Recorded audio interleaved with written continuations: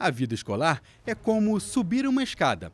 Hábitos de leituras, notas boas e diplomas são conquistas que levam os estudantes a superar cada degrau e atingir posições de conhecimento e destaque no sistema de ensino e aprendizagem.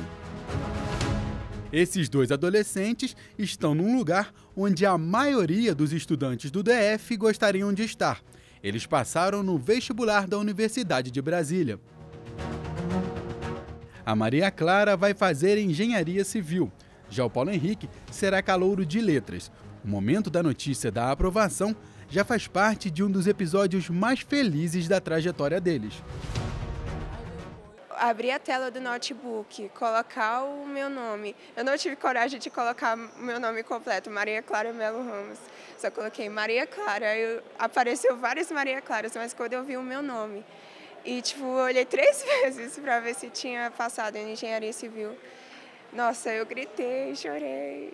Os dois estudaram nesta escola de Planaltina que em 2022 aprovou 36 estudantes em universidades, 26 deles na UNB. Essa estrutura é muito importante porque estudante da rede pública já é difícil para ele ingressar em uma universidade. E se ele se encontra em um ambiente escolar que não é muito favorável aos seus estudos, isso prejudica bastante. Então, o ideal, o estudante de rede pública, ele está em um ambiente escolar que, que vá te mobilizar um melhor estudo para esses alunos. Sozinho, o estudante é uma estrela, mas professores e estudantes juntos iluminam o céu.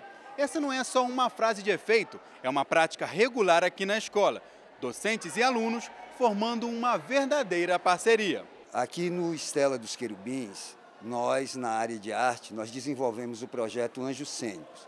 E esse projeto ele visa exatamente isso, preparar o estudante tanto para os embates cotidianos na vida, mas também né, com um viés com os conteúdos que ele vai se defrontar quando fizer o vestibular, quando fizer o Enem.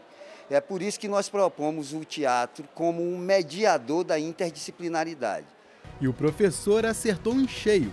Grande parte do que foi discutido em sala de aula estava nas provas de vestibular. E ajudou bastante. Quando eu via alguma questão, já lembrava que o professor tinha passado em sala de aula. Mas para que a educação dê certo, é preciso interesse político, motivação, gestão e recursos financeiros. A Câmara Legislativa tem buscado contribuir com as escolas e a Secretaria de Educação do DF com investimentos em emendas parlamentares. Nos últimos dois anos, o Centro Educacional Estela dos Querubins recebeu quase 350 mil reais em emendas, que foram indicadas pelos deputados distritais Fábio Félix e João Cardoso e pelos ex-deputados Leandro Graz, Cláudia Abrantes e Valdelino Barcelos. A instituição da emenda parlamentar foi algo que veio mudar a face da educação no Distrito Federal. É, a sensibilidade dos deputados distritais tem sido é, excelente com a educação, eles têm visitado as escolas e a gente define essas demandas junto com o próprio deputado ou às vezes com assessoria dos deputados em uma visita à escola. Cada um dos 24 deputados tem direito a indicar cerca de 25 milhões de reais por ano em emendas parlamentares voltadas para o orçamento. Todo ano, quando vai ser votada a lei orçamentária, o Distrito Federal apresenta uma estimativa de qual será a receita corrente líquida dele para aquele ano para o ano subsequente, aliás.